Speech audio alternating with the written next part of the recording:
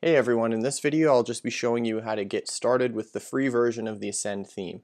Now I'm going to assume that you've already got the theme installed. If you need help installing the theme, we've got a great video covering that. Just go back to uh, our older videos and it should be pretty easy to find.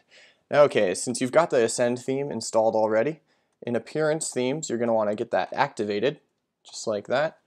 And right off the bat you'll see this notice up top and you'll want to pay attention to this. If you dismiss this notice, you might easily forget to install the Kadence Toolkit, and that is 100% necessary for using the Theme Options panel for any Kadence free theme. So simply click this Begin Installing Plugin button and install the plugin through there.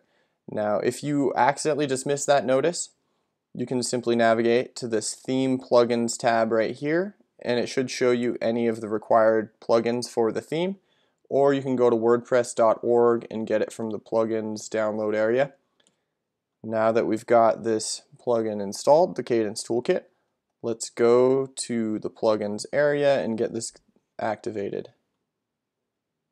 Alright, now that the plugin is activated, you can navigate to Appearance, Theme Options, and get started customizing your site. There's a ton of options within Ascend and if you need any assistance getting anything done on your site, as usual, post to the forums and we'll always be happy to help you out.